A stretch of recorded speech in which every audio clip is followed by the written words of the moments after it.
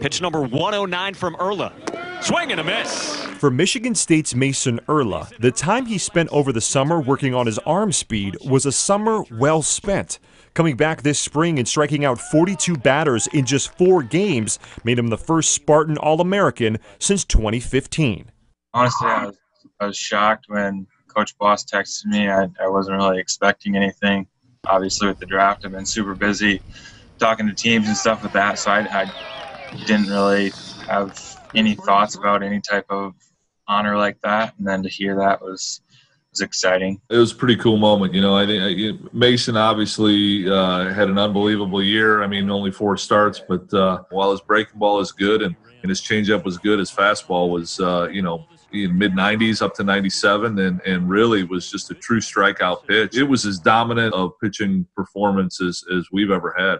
With the Major League Baseball draft less than two weeks away, Mason has a really good chance of getting selected. Even though there's only five rounds in this year's draft, the Spartans are confident that he'll be going pro by the time it's all over.